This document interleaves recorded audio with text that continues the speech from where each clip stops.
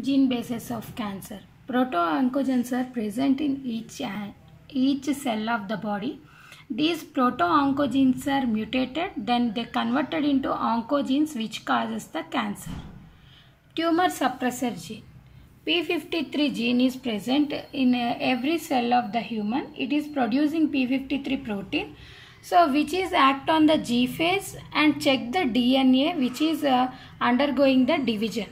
If any change in the DNA, it, it repairing that DNA and send it to S phase.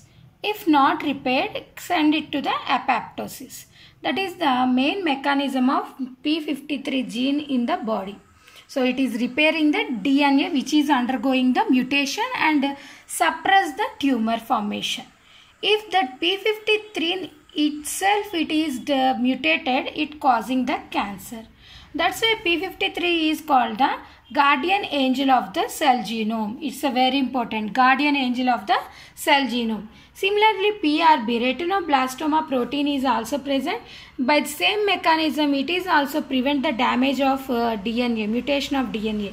If it is not possible that it itself it is mutated, then it is causing the cancer. And diagnosis. Biopsy, first method. This is nothing but the tissue study under the microscope. Which organ we are suspecting, we scratch that uh, organ tissue and examined under the microscope is called the biopsy. Blood test to know the leukemia. If the WBC count is increases, that is indicating the leukemia. Radiography, X-ray, CT, PET, MRI, all these are helpful for knowing the tumors present in the body. PCR technique is uh, helpful for identifying the changing of the DNA. If DNA is mutated that lead to the cancer. PAP test is uh, mainly conducted at the uh, uterus and vaginal cancers. Mammography breast cancer identification by using radiology.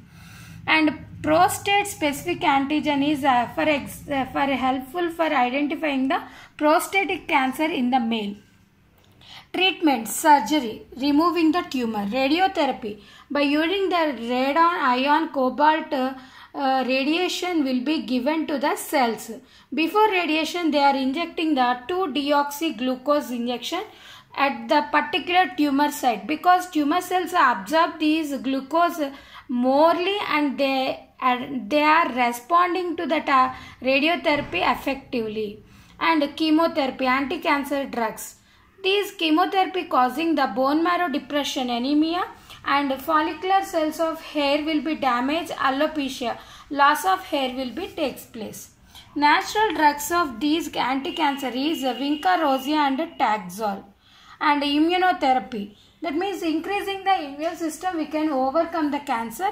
So interferons monoclonal antibodies and bone transplantation all these are helpful for overcoming the cancer. So this is the treatment of the cancer which doesn't having the side effects and more effective is the immunotherapy. But it is uh, uh, requires more money to provide these interferons and monoclonal antibodies which is uh, these monoclonal antibodies binded to the anti-cancer uh, binded to the cancer cells and uh, prevent the development of the cancer arrest the cancer cells to develop. So this is about the monoclonal antibodies. Bone marrow transplantation is done in the leukemia condition to improve the blood cells formation